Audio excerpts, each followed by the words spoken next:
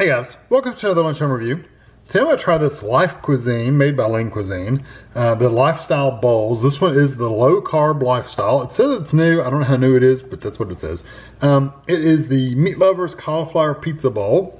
It is Italian sausage, pepperoni made with pork, chicken, and beef, cauliflower florets, mozzarella cheese, and tomato uh, tomato pizza sauce. We bought these at Kroger. It was $3.99, which isn't too bad. Let's see, it's 11 ounce meal, 311 grams, 13 grams of net carbs, whatever way they calculated that, I don't know. Um, okay, so 430 calories for the whole thing. And here's your other information for you. Um, they probably said somewhere over here how they calculated that, but anyway, who knows? Okay. So here's the cooking directions. Microwave only as, as far as I could tell. So we're going to leave the film on the bowl, cook for four minutes on high, stir and recover, and then do another two and a half minutes. Wow, that takes quite a bit of time. Um, I don't generally like cauliflower, you know, overall, but I don't mind cauliflower as long as it's cooked. I like cooked cauliflower. I just don't like like raw cauliflower. So here it is. Quite a bit of cauliflower in there, but after, how long did I cook this for? Um, six and a half minutes. I would think most of that cauliflower is pretty pretty tender. So I'm gonna get this in the microwave and I'll be back.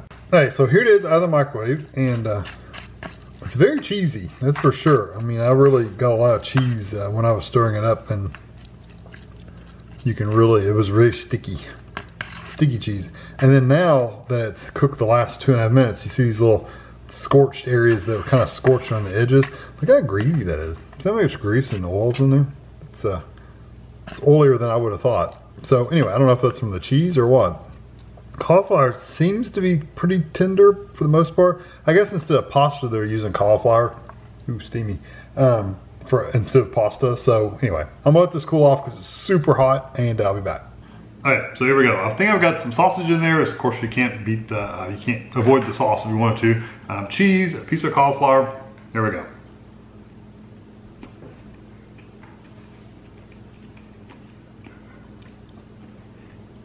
Cauliflower's cooked well. I like that.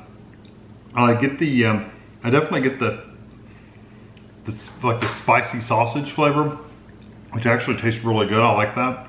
Um, the sauce itself is good. Like I said, it's kind of got a spice to it. It's got a tomatoey flavor, so it does kind of remind you of pizza, but it's more of a, it's more of a spicy sausage pizza than a, just a regular pizza. The, um, yeah, that, the sausage is pretty spicy.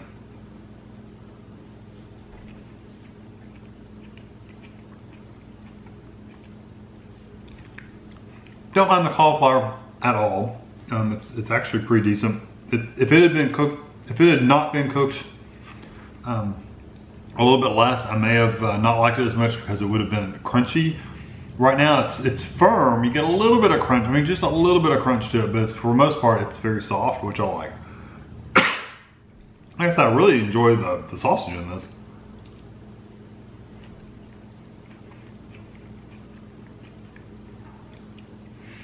So really, I know it's low carb, and they do calculate, by the way. Here's how they calculate it. It is 19 grams of total carbs. So the total carbs minus, the 19 grams of total carbs minus the six grams of fiber um, gives you net carbs of 13. It's definitely not a low calorie meal. It's 430 calories, so it's definitely not a low calorie. But, um, and as far as low carb goes, I don't know if that's low or not. Truthfully, I don't do the carb diet, so, um, the the keto lifestyle or whatever. I don't do any of the, the carb stuff. So I don't know if 13 is good or not. I know I'm in back in the day, um, I tried the Atkins diet and you were supposed to only get like 20 a day, 20 grams of carbs a day, especially when you were first doing it. Um, so that would be a lot for them because you try to keep it under 20. Um, 13 out of 20 would be pretty high for the day. Um, so it would have been high, but I, like I said, I don't do keto, so I don't, I don't know like what it is nowadays.